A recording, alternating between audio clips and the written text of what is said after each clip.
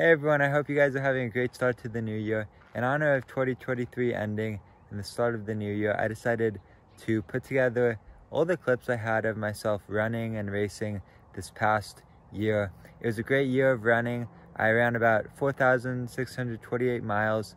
I probably would have got to 5,000, um, but I took uh, like six weeks off in August and September because I had a little Achilles injury.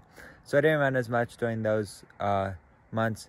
But yeah, nonetheless, it was a great uh, year of running, and I had two big races. I raced the Eugene Marathon, oh, the Eugene Marathon in April, and then Tucson Marathon in December, and both were great races. And yeah, I hope you guys have a great start to the new year, and I'm looking forward to everything that will happen this next year. And um, yeah, have a great day. Enjoy the video. Good job, Ian.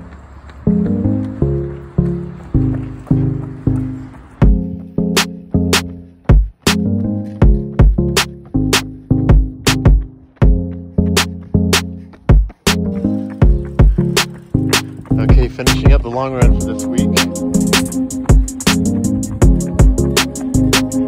Is it over 23 yet?